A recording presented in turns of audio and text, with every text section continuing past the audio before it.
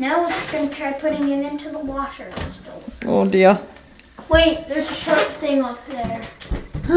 Oh my god, that's gonna pop it. Ah! Oh my god, that was loud!